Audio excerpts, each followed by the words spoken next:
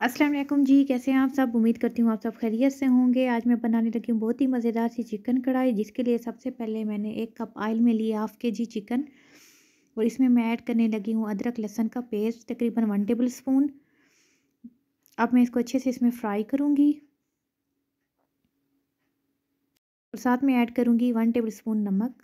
नमक ऐड करने के बाद मैं इसको अच्छे से फ्राई करूँगी।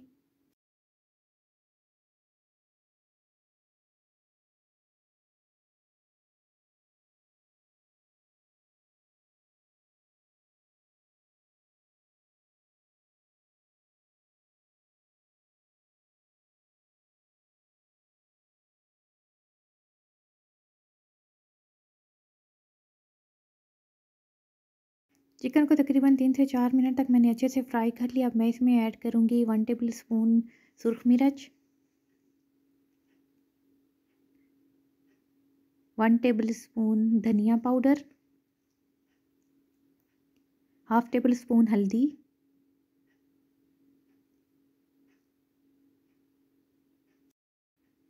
हाफ़ टी स्पून गरम मसाला पाउडर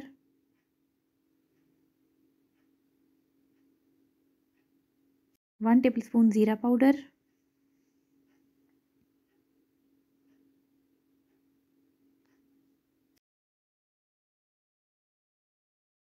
ये सब ऐड करने के बाद अब मैं इसको अच्छे से मिक्स करूँगी।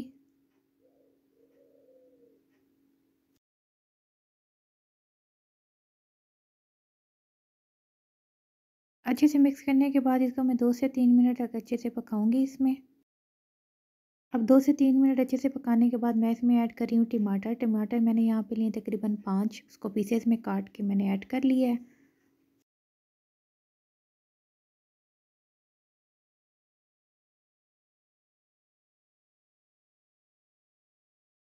टमाटर ऐड करने के बाद मैं इसको ढक के तकरीबन दो से तीन मिनट के लिए ठहरा दूँगी ताकि चिकन जो अच्छे से गल जाए। अब दो से तीन मिनट हो चुके हैं, मैंने इसको ओपन कर लिया है। चिकन जो है मेरे पास अच्छे से गल चुकी है।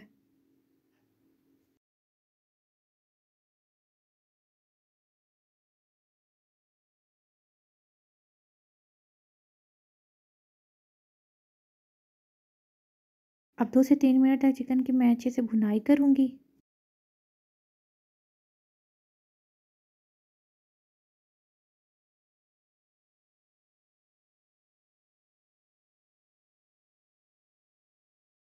तीन मिनट अच्छे से बुनाई करने के बाद मैं इसमें ऐड करने लगी हूँ ग्रीन मिर्च एंड शिमला मिर्च। जो मैंने पीसेस में काट के रखी हुई थी, वो मैंने ऐड कर ली है। अब इसको मिक्स करूँगी अच्छे से।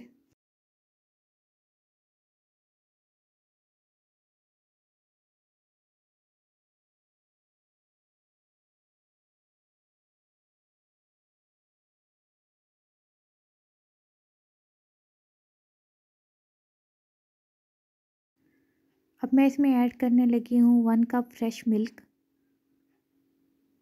ये ऐड करने के बाद मैं इसको मिक्स करूँगी ये अच्छे से।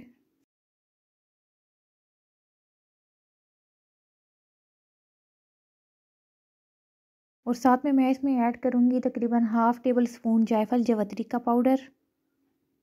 ये ऐड करने के बाद मैं इसको अच्छे से दोबारा मिक्स करूँगी। अब इसको मैं पाँच से छः मिनट के लिए ढक के ठहरा दूँगी ताकि जो मिल्क मैंने ऐड किया वो इसमें अच्छे से खुश्क हो जाए।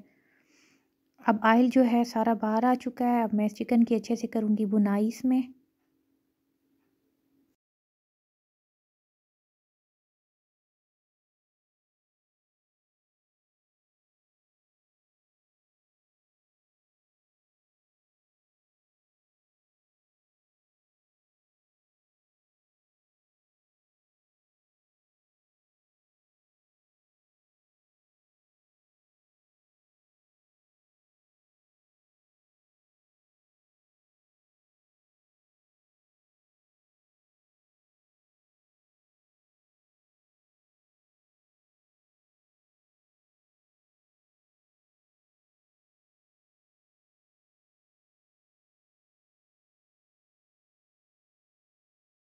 अब चिकन की अच्छे से बुनाई हो चुकी है। मैं इसमें थोड़ा सा ऐड कर दूँगी पानी ताकि जो हमारे पास ग्रेवी है वो अच्छे से बने इसकी।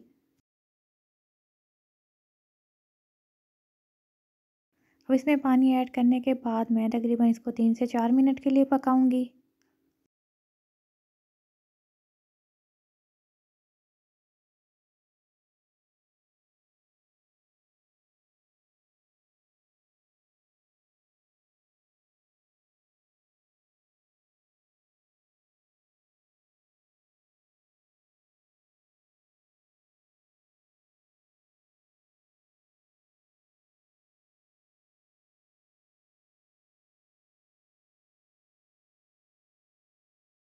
अब चिकन कढ़ाई मेरे पास अच्छे से रेडी हो चुकी है। इसमें मैं अब एंड में ऐड करूँगी सब्ज़ धनिया।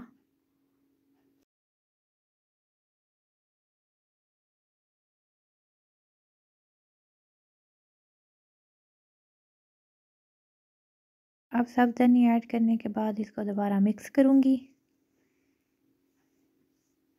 और फ्लेम अब मैं करने लगी हूँ बंद। कढ़ाई हो चुकी है मेरे पास रेडी